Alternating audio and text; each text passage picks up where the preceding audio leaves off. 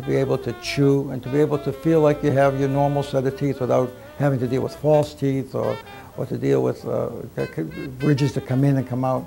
Uh, this has been a wonderful, wonderful experience for me.